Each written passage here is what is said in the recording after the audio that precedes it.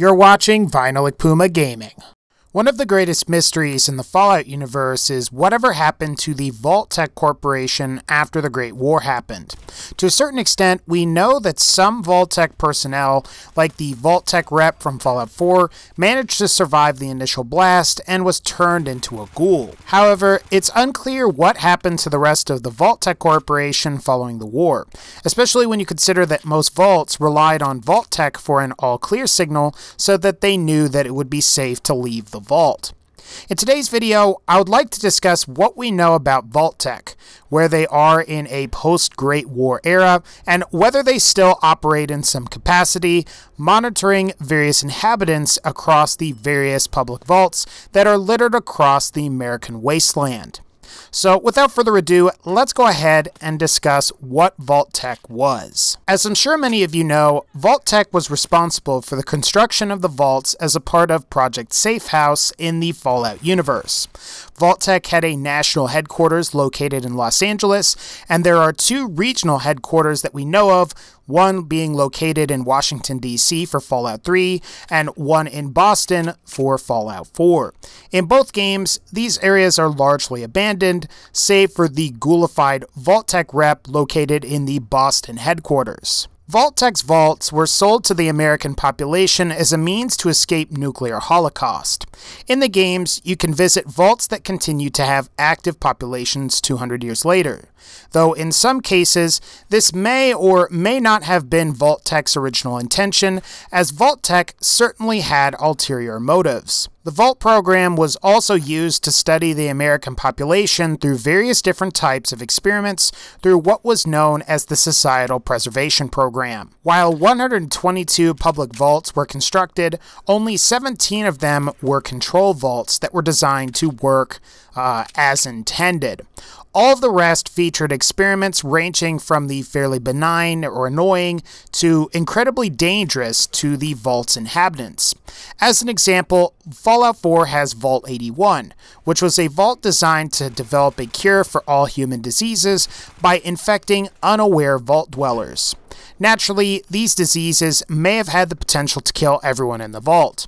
Or in the case of Vault 106 from Fallout 3, the Overseer filled the vault's filtration system 10 days after the door was sealed with drugs, and this drove the population insane, and presumably they are all long dead by the events of Fallout 3. The idea behind all of these crazy experiments was to test how people would react to extreme conditions and to collect data to help the pre war American government and the Enclave to recolonize Earth or to travel and colonize an entirely different planet.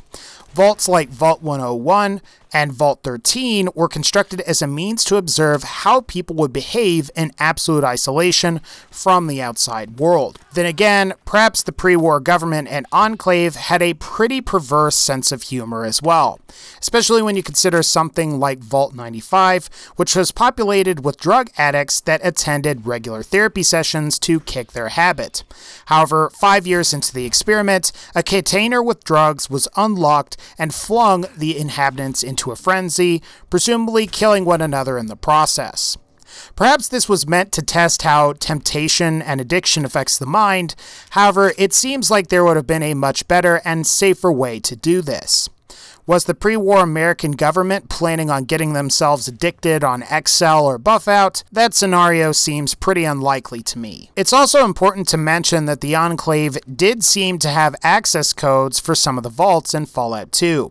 The Enclave managed to enter Vault 13 by sending a code to the vault's door.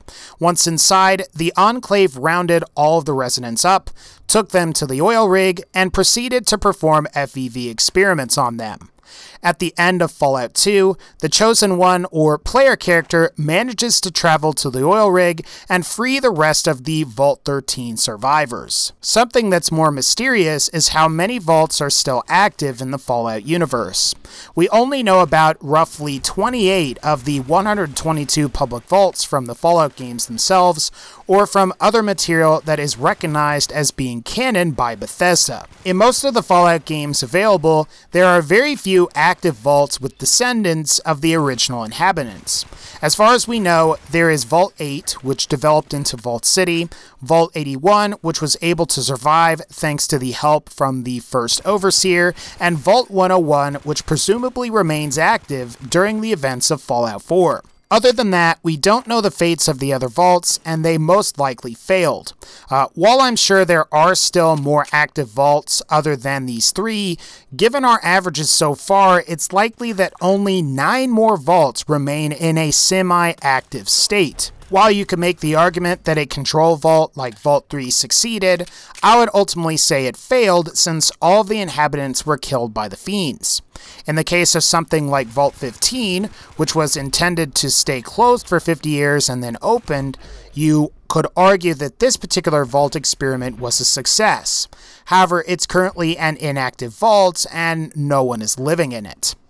However, it's important to mention that Vault-Tec may have also constructed private vaults in addition to the public numbered vaults that we are all familiar with. Where these vaults are, we don't really know, and they could still be active, or they could certainly not be active. Perhaps they house the descendants of Vault-Tec personnel from before the Great War. Something that I feel is important to mention when talking about Vault-Tec and the vaults is the Pip-Boy device. The Pip-Boy is possibly the most famous piece of technology that's common among all vault dwellers. While it was developed by Robco Industries instead of Vault-Tec, you would be pretty hard pressed to actually find an active vault where very few of the inhabitants don't have Pip-Boys. In the first three Fallout games, Fallout 1, 2, and Tactics, the player makes use of the Pip-Boy 2000 model. This model of the Pip-Boy was capable of recording video and sound for playback, and it uses a combination of sonar and satellite tracking in order to determine the player's location. Fallout games by Bethesda make use of the Pip-Boy 3000 model, which features a built-in radio for pinpointing radio frequencies, a Geiger counter to monitor radiation levels, a green flashlight, and models in Fallout 3 and New Vegas have a biometric lock. Fallout 4 ditches the biometric lock in favor of a generic latching mechanism, and Fallout 4's Pip-Boy also has the capability to open vault doors, as one will discover as they encounter Fallout 4's various vaults, like leaving Vault 111 and entering Vault 114. What I find most curious about Pip-Boys is the map or GPS functionality that they provide. In the games, you get a near perfect map of the areas that you explore, and as you travel around in either Boston, the Mojave, or in the Capital Wasteland, the Pip-Boy accurately tracks the player's location.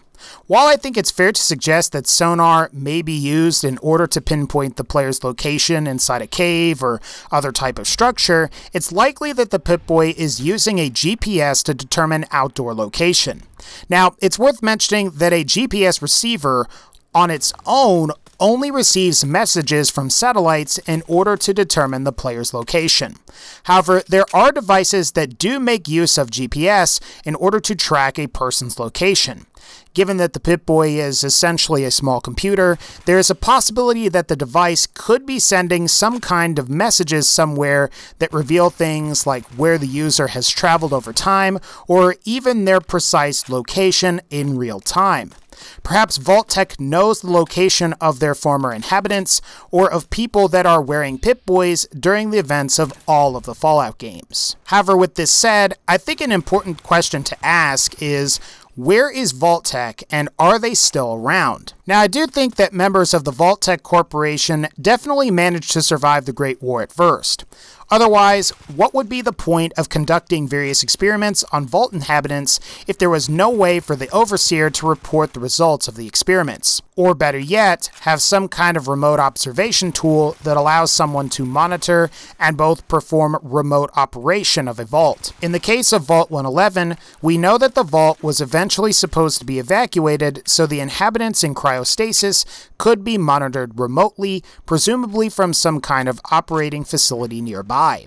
I would say that the idea of having an all clear signal for a vault would mean that Vault-Tec would be monitoring the status of the area surrounding the vault, as well as also monitoring the status of the inhabitants inside of the vault.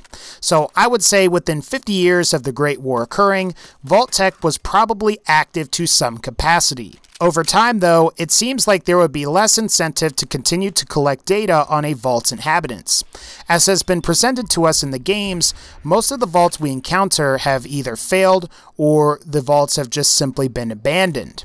If this trend tends to hold up across the rest of the American wasteland, it's safe to say that even if Vault-Tec has a sophisticated enough apparatus in place to monitor each and every vault, there's not really any point in monitoring a failing vault anymore. This said, there is a possibility that there could be more active vaults throughout the rest of the American wasteland that would be worthy to monitor and collect data on. It's possible that vaults exist in the plains, East Central, Gulf, Southeast, Texas, and North Commonwealths, and it's possible that some of these vaults could remain active. With this said, maintaining cohesion as an organization would prove to be extremely difficult if you consider that the national headquarters for Vault-Tec was in bad shape and that both the regional headquarters in both Boston and the capital wasteland are in a state of ruin. Then again, perhaps Vault-Tec is gone and maybe the descendants have integrated into the local population of each and every single commonwealth in the post-war era. However, organizations with far more technical know-how would have certainly have been able to access Vault-Tec data stores to learn about their experiments and may have also gained access to some kind of monitoring equipment. So, I suppose another important question to ask would be, who has access to Vault-Tec's monitoring equipment? I would say two organizations would have access to Vault-Tec's monitoring equipment, and that would be the Enclave and the Institute. How else would the Enclave have managed to gain access to Vault 13 during the events leading up to Fallout 2? Or how would Father have been able to remotely release the player from Vault 111 in Fallout 4? Perhaps Mr. House from Fallout New Vegas also had some kind of access to Vault-Tec's data, given that his corporation helped design the Pip-Boy in the first place. At the very least, the ability to track users with the Pip-Boy would have been extremely invaluable. In fact, it may have been how the Enclave managed to find the Lone Wanderer just as he or she was heading towards or leaving Vault 87. Father in the Institute from Fallout 4 must have had some kind of diagnostic tools that would have allowed them to observe and monitor your health while you were stuck in cryostasis in Vault 111. At least, you would think that a device or program that would have allowed them to open your pod remotely would have had some kind of monitoring or telemetry system. Aside from the monitoring equipment, knowing the outcome of some of the experiments or gathering data that the scientific experiments produced could have been extremely valuable to both organizations.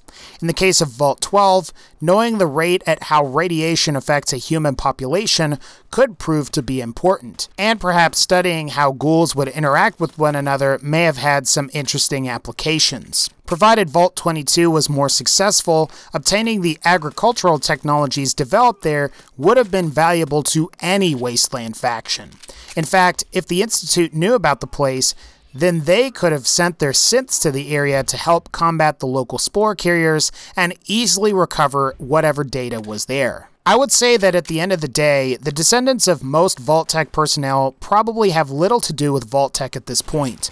Largely, Vault-Tec itself and its remnants are most likely gone since most of the experiments were either completed or the experiments themselves failed due to revolts among inhabitants or something else entirely. You also have to consider that it has been about 90 years since the Great War during the events of Fallout 1, 170 years since the Great War in Fallout 2, 200 years during Fallout 3, and 210 years during Fallout 4. Most Vault-Tec experiments probably ended within 20 years of them going live, and whatever data was uncovered probably went to the Enclave. After that, organizations that were sophisticated enough, like the Institute is, would have recovered whatever technology they could reverse engineer. Both organizations would have certainly reaped the benefits of whatever data that Vault-Tec had managed to collect, and I would also say that both organizations are probably nefarious enough to try and reproduce the results of the experiments conducted by Vault-Tec. In a sense, maybe Vault-Tec is still around, however, it's taken the form of either the Enclave, Institute, or some other nefariously evil and highly advanced organization. Alright guys, that's going to wrap up this particular video. If you like this video, please be sure to leave a like and let me know what do you think of this video. Otherwise, like this video if you liked it, click the bell to join the notification squad, and as always, take care, and I'll see y'all next time.